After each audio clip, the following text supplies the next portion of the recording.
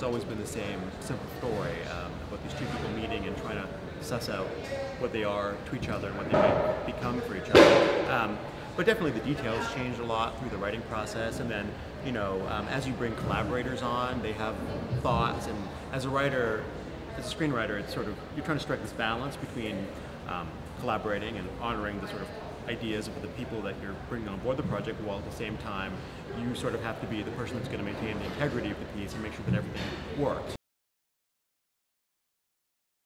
The thing I love about romantic comedies is it's the one genre you can't hide it.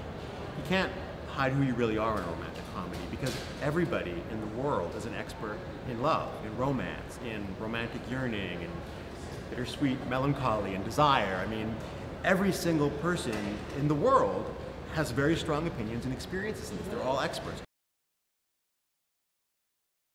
It's about that, those undeniable connections you make with people, and it's not always convenient.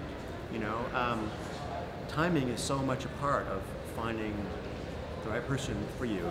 In this movie, it's the timing is wrong for them in so many different places, and I, I love the idea of trying to write like an ethical romantic comedy. You know, um, you know, uh, Daniel and Zoe talk about this in one of the scenes in the movie. The idea that love can be the all-purpose excuse for terrible behavior.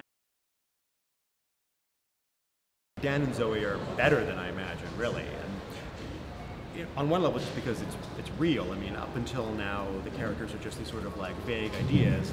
Now, you know, Wallace looks like Daniel Radcliffe and talks like him and has that spirit. And likewise, Chantry is Zoe Kazan.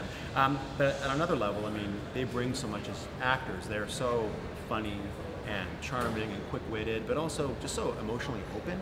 Um, the vulnerability and the intensity of their performances um, is, is better than I could have hoped for. You have no idea what you, the gift that we're about to give you because I think it's going to really, it's really going to blow people's minds the kind of performance he gives in this film. He's so funny and romantic and charming and emotionally open and quick-witted. Uh, it's it's much more than I uh, could have hoped for when we cast him. But I feel really gratified. I'm excited for the audience to see what he can really do. He's get, being able to show a range of emotion as well as just like a, a true like it's such a it's such a like juggernaut of a comedy performance. So I'm really excited for audiences to to see this whole side of him. Michael Dowse is doing an amazing job. I'm, I could not be more thrilled. Um, you know, we got to know each other over the process of developing and making the movie, and I think it's been a really remarkable collaboration for me. He's incredibly generous as a director. Uh, he's very commanding on set, knows what he wants, but doesn't have this big ego where he isn't interested in other people's thoughts. He's very inclusive and um, while at the same time knows what he wants, he also is smart enough to know that somebody else might have another point of view that actually is going to help make it better. I think like me, he just wants whatever it takes to make the movie as amazing as possible.